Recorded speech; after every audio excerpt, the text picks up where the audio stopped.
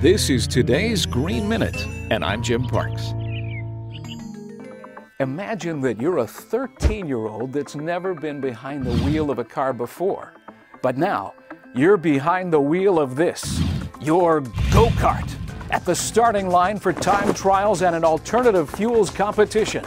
The engine behind you purring on fuels like vegetable oil, mineral oil, or maybe even If you're a middle school student in Fort Pierce, Florida, this could very well be you participating in the Extreme Energy Education event, also known as XE3.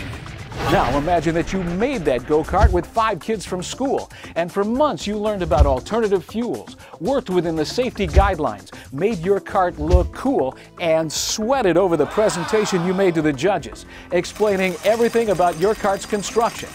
But you're not there alone. State agencies and local businesses donated funds. Mentors gave you their time and expertise. And the Treasure Coast Research Park sponsored it all, reaching out to Fort Pierce Middle Schools to engage you and your friends in math, science, and engineering.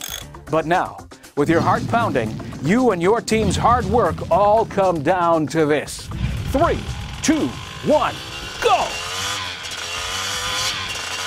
Visit us on Facebook for more stories of green innovation. We made this video, and we can make yours. MinuteNavigator.com.